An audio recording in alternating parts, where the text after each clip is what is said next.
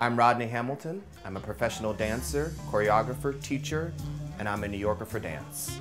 Dance and dance education matters to me because it is extremely important that our youth finds their artistic self.